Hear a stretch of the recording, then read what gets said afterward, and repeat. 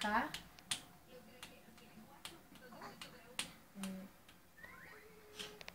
Eh, Cuando le doy la cámara a Valentina, le hace así